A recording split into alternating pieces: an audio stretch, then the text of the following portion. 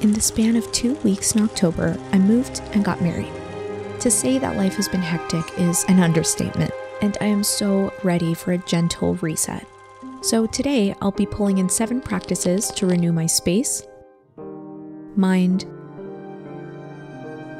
body, and spirit.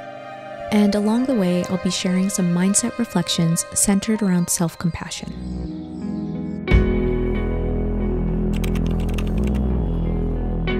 When I need a deep reset, I will sleep in for as long as I need. I've heard so much harsh dialogue online around sleeping in, how it's a wasted morning or the day is half over. I think that language is unhelpful. I don't need to start the day anxious and hurried. A slow morning is such a luxury. Listening to your body is accepting deep rest when you need it. So I remind myself that whatever time I wake up is right, and now I have a chance to move forward into the day well rested. I've been starting my day off with green juice paired with this pumpkin apple chia pudding that I am obsessed with. I've been eating out a lot recently, so it feels really refreshing to reach for something cold and clean in the morning.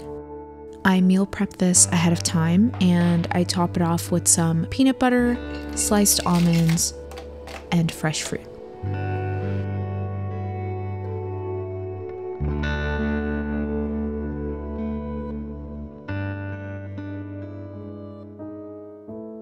I used to have a hard time getting myself to clean. It just felt like another chore to do but I started noticing how much better I feel when I have an uncluttered, neutral environment. I feel like I can breathe and fully relax. So, taking care of my space is self care. If things have piled up, I try to get away from an all or nothing mentality. The goal isn't to do everything, just to chip away at whatever feels doable in that moment. As I was cleaning, I thought back to the last cleaning I did at the old apartment, just before moving out. And then coming over to the empty townhouse.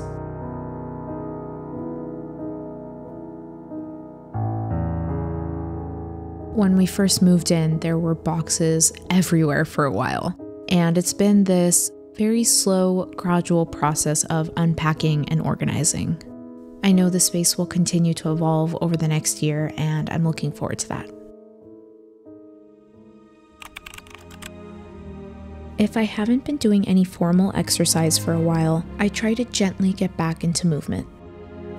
I did some yin yoga the night before, so today I felt like walking for 15 minutes. The weekend before this, I went up to the mountains for a few days. I walked around a lot and did this gentle hike one day.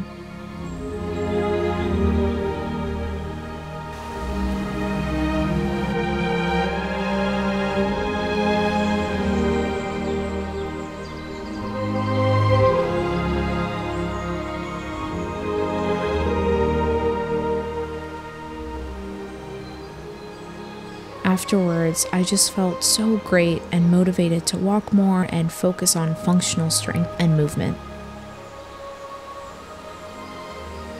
At the end of the day, I just want to find joy and excitement in movement.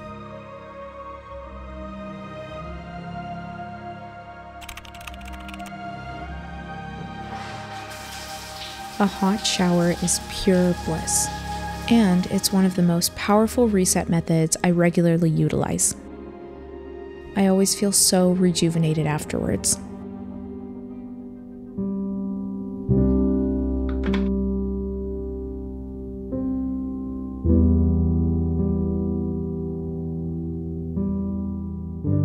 Journaling is a core piece of any reset day for me. I made an entire video on journaling detailing the clarity I get from this practice and my personal approach. This is my chance to sort through the backlog of thoughts and emotions that have built up, and after, I feel more grounded and clear.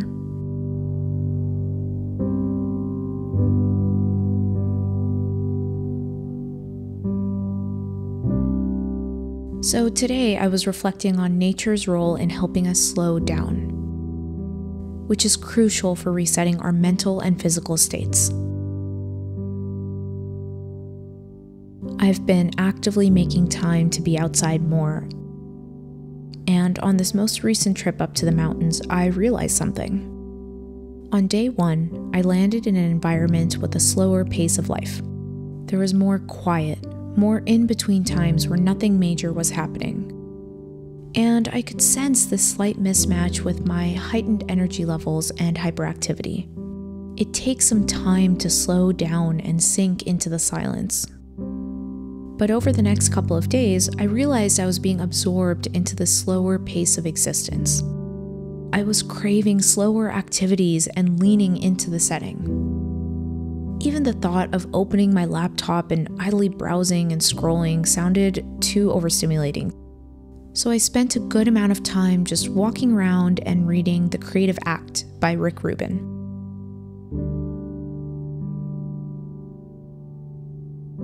I want to continue prioritizing getting outside, even if it's just a quick walk to the local park.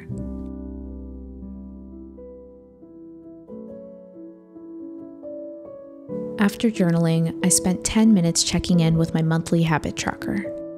It helps me identify and prioritize what matters most to me, and it has unexpectedly become a trusty tool for positive reinforcement.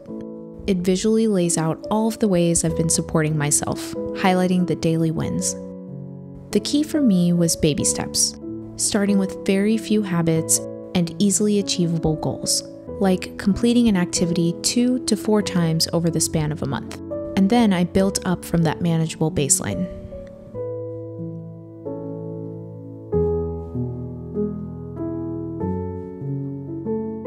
I decided to sit in open awareness for 10 minutes.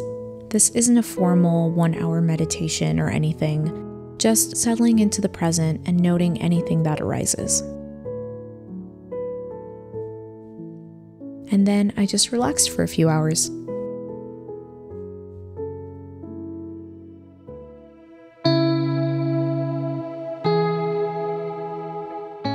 No matter how I've been eating, today is a new day and a chance to eat a nourishing meal. I decided to make some veggie burgers for dinner. These are a staple in the weekly rotation. They're quick, healthy, and yield leftovers.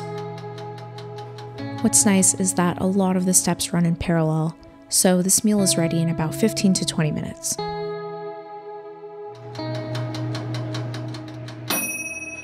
So, as the sprouted grain buns are getting toasted, patties are cooking in parallel.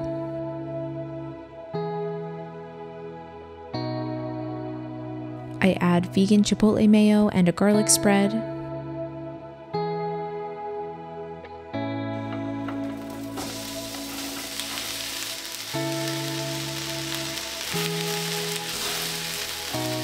Add spinach or a super green blend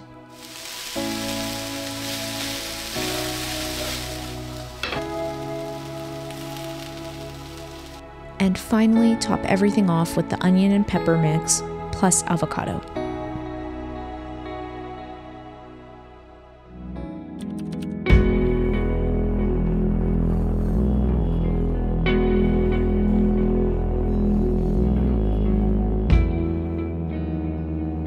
I haven't painted or made any art since I moved in. So I brewed some hot hibiscus tea put on a podcast with Brene Brown, and picked up a digital painting I started a while ago.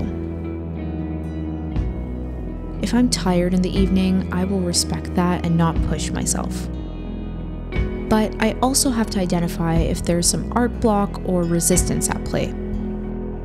Resistance will desperately try to convince me it's too late in the day to get started, it's not the perfect time or place for the task at hand but every time I show up and engage with my art, I challenge that narrative.